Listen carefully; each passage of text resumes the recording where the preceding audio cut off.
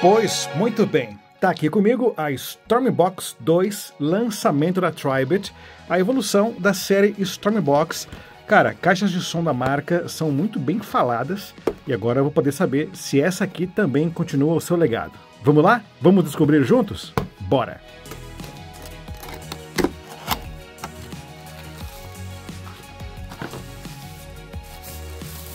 E voilá, é isso que vem na embalagem. Cabinho USB para carregar a bateria, manualzinho de instruções. E claro, a Stormbox 2, olha só! Caramba, que bonita! Que estilo... Nossa, velho! Eu vou dizer que ela tem um acabamento bem mais primoroso do que as caixinhas da Tronsmart. E olha que eu gosto muito da Tronsmart, hein? A Tribit tá arrebentando. Uau, cara! Sério, aqui ó, a malha muito bem trançada, dando um acabamento muito bonito. O detalhe aqui dos botões também com uma pegada emborrachada, mas o que eu tô gostando mesmo é a fineza da construção. Caramba, velho! Bem, temos uma cordinha de transporte, dá para remover, né? Acho que isso aqui dá para você desparafusar. Dá, né? É, dá sim. E você remove. Aqui estão os radiadores passivos, olha, tem uma firmeza bacana. Dá para você ouvir ela de pé, mas apenas numa única posição. Por isso que tem aqui essa base com esses quatro pezinhos de borracha. Bem legal. Essa parte plástica não tem essa engraçado, tem um toque gostoso, mas não é emborrachado. Interessante mesmo. O logo da Tribed aqui, bem bonito. Desse lado ficam os botões de comando, ligar e desligar, botão de parâmetro via Bluetooth, a tecla X-Base, deve ser para intensificar graves, aqui o botão para o paramento TWS, aqui uma tampa emborrachada, deixa eu abrir que tá duro aqui, aí pronto, revelando, olha, um conector P2 para o áudio auxiliar, muita gente pede isso aqui, né, em algumas caixinhas, não temos leitor de cartão, ok, e aqui USB-C para carregar a bateria. Nota-se que a caixinha de som é hermeticamente vedada, tanto que essa tampinha ela tem uma grossura aqui e várias camadinhas de borracha para poder garantir a vedação aqui das conexões. Isso porque ela tem a certificação IPX7, então dá para molhar sem medo. Falando aqui um pouquinho sobre algumas questões técnicas, por exemplo, a questão da bateria. São 2.600 mAh, vai suportar até 24 horas de reprodução de música, o que é sensacional. Claro, mantendo até 60% do volume, com a função X-Base desligado. Não achei informações sobre o tamanho dos drivers, mas de acordo com a marca, a Stormbox 2 consegue emanar um áudio em 360. Não achei dados sobre o tamanho, né, quantas polegadas tem cada alto-falante, mas fala-se da potência. De acordo com a marca, são 17 watts para cada canal, dando um total aqui de 34 watts RMS. Para garantir uma ótima estabilidade e conectividade do sinal, o Bluetooth aqui é na versão 5.3. Muito bem, vamos ligar para ver.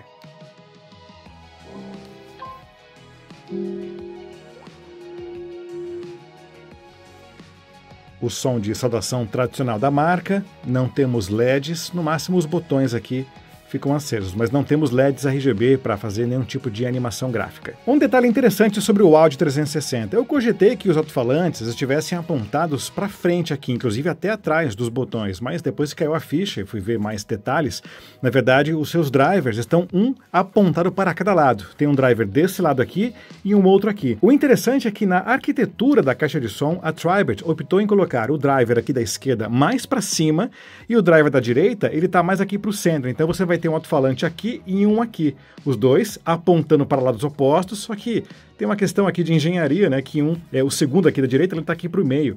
Enfim, coisas da Tribert, mas acho que isso não vai afetar em nada o som. Você consegue usar a caixinha de som numa boa, sem a necessidade de um aplicativo, mas ultimamente eu ando indicando sim os aplicativos da Tribert ou também de outras marcas que às vezes criam boas funções. Na tela inicial do aplicativo, ele mostra a imagem do produto Tribert que você está pareado, nível de bateria. Ele mostra aqui ó, um controlador de volume, tá vendo? Que ele vai controlar o volume geral da caixa de som em conjunto com o Android. Tem aqui um pequeno player, tá? Com playback pausa, avanço, retrocesso, que ele vai gerenciar o player que você está utilizando no momento. Aqui para baixo, que é o que interessa, é o equalizador, mas antes, deixa eu dar um play aqui, tá tudo fletado, inclusive aqui o X-Base desligado. Deixa eu ver qual é que é. Nossa, cara. Ah, só um detalhe. O equalizador aqui do meu smartphone tá fletado, tá? Não vou nem mexer aqui nas opções, que é para não afetar a equalização do aplicativo da Tribet. E aqui no app da Tribet, olha lá, ele também tá na opção flat, né? Eu não tenho aqui BES ligado, enfim, nada, tá tudo padrãozinho. E eu já vou dizer que o som é sensacional, cara.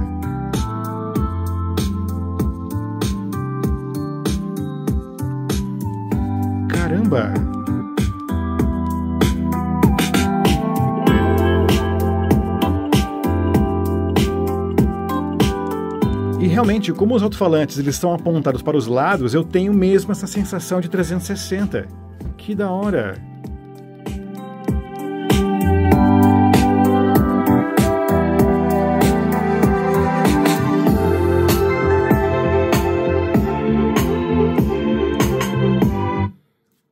Velho, realmente, eu, a, a, minha sensação sonora é que o áudio está expandindo para todos os lados. Quando eu aponto aqui uma direção do, de um driver, aí eu percebo um pouco melhor. Só que com a distância, o áudio está realmente rodeando a caixa como se estivesse vindo de todos os seus lados. Excepcional.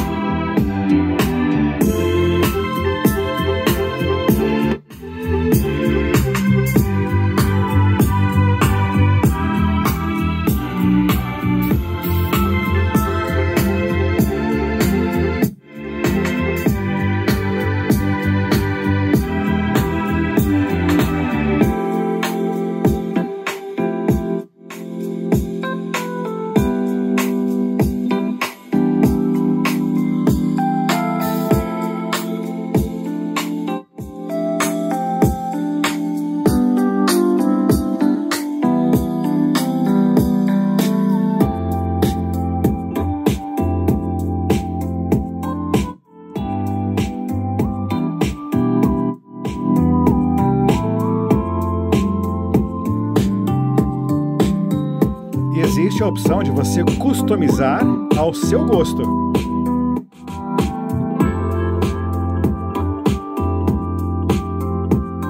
Tá vendo? Ó, são cinco bandas de equalização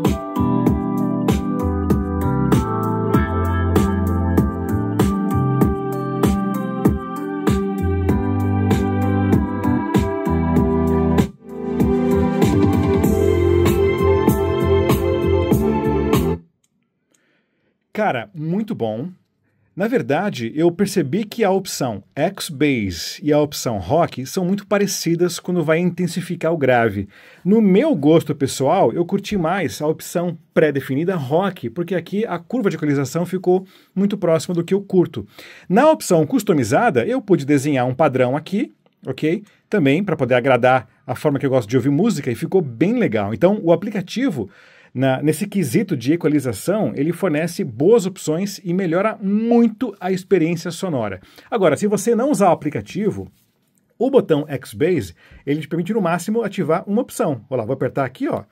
Ele muda para o X-Base e aqui fica aceso. Se eu apertar de novo, ele desliga, vai para a opção off. Mas dá para configurar aqui em settings para que o botão de equalizador fique então navegando nas opções específicas, tá? Mas não vou mexer aqui, o aplicativo ele é bem prático nesse sentido. E, cara, enfim, adorei a forma que ele equaliza e o áudio desse carinha aqui é espetacular, velho. Fazendo aqui um teste de estéreo. Canal esquerdo aqui. Perfeito. Canal direito. É claro que a Tribert não ia me decepcionar, né? Ou seja, a Stormbox 2 é uma caixa em estéreo, excelente. Teste rápido aqui do microfone da Stormbox 2, porque ela tem funções de mãos livres, né? Ou seja, você pode atender chamadas, fazer chamadas usando o áudio da caixa de som para você ouvir a pessoa que fala com você e o microfone da caixa de som para fazer a pessoa que conversa com você te escutar. Enfim, aqui são os microfones do smartphone que vocês me escutam. Agora eu estou migrando para o microfone da Stormbox 2. E essa é a qualidade do áudio. Eu estou mais ou menos a uns 40 centímetros de distância da minha boca aqui para a caixa de som. E essa é a qualidade do áudio. Boa, né? Dá para usar ela numa boa também. para fazer chamadas. Porque a galera usa assim, é, algumas pessoas pensam que caixinha de som é apenas para ouvir música, mas você pode utilizá-la, é, essa parte multimídia dela, né, para poder fazer captura da sua voz e ouvir a voz da pessoa com quem você estiver falando em uma chamada, beleza? Muito bom, hein? Dá para usar de boa sim.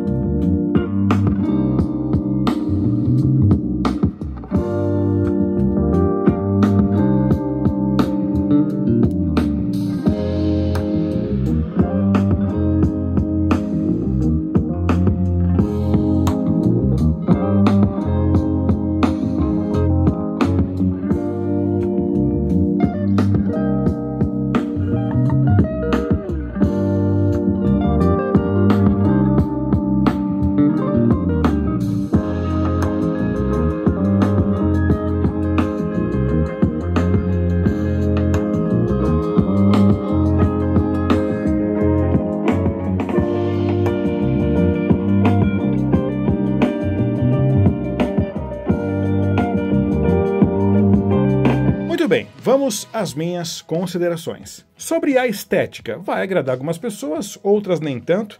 Confesso que pela foto da embalagem não estava muito empolgado, mas ao olhar a caixa de som, eu vejo que ela tem todo um primor na sua construção. Não só pela questão do acabamento bem feito, mas porque a caixa de som tem um design bonito mesmo. E eu gostei dessa questão de colocá-la sempre de pé para você poder sempre aproveitar a experiência sonora 360 que realmente acontece. Sim, é real. Qualquer lado que você posiciona a caixa, você tem a sensação de que o áudio se expande para todos os lados. E a engenharia da Tribate mandou muito bem nesse sentido. Então já vou até emendar e falar aqui sobre a qualidade sonora. Excelente! Cara, que som muito bem regulado. As frequências estão todas presentes aqui. Os radiadores passivos eles fazem realmente um trabalho muito bom, fazendo com que a caixa entregue um grave muito gostoso. E ó, a potência dela é interessante. Não sei dizer se ela vai de fato atingir esses 34 watts RMS, mas ela tem um bom volume, ela é alta.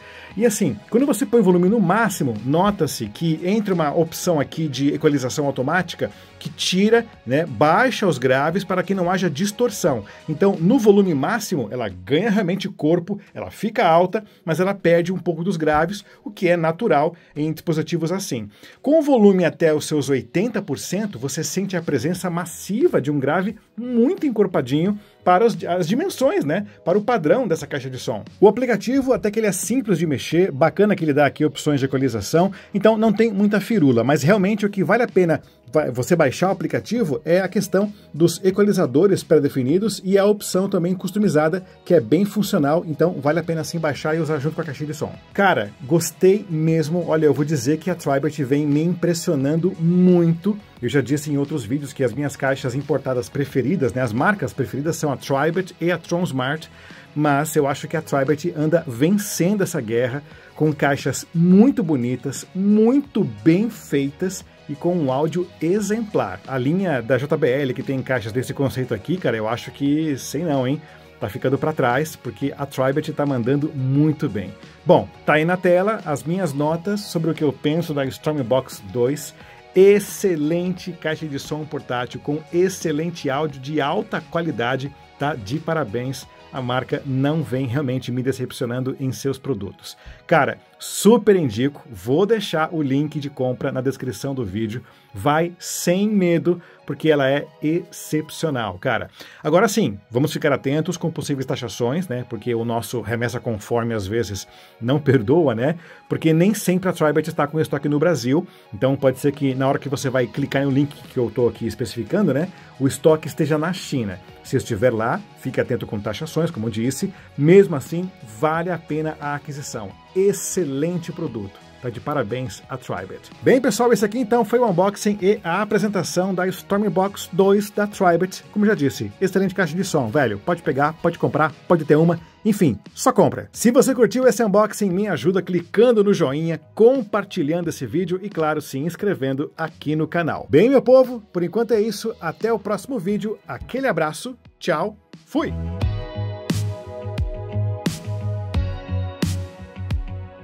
Pessoal, coloca aqui na tela a chave Pix do canal André Fontes. Se vocês gostam do meu trabalho e quiserem contribuir com alguma coisa no intuito de ajudar a manter o canal no ar, qualquer valor é muito bem-vindo. Valeu, povo, e forte abraço!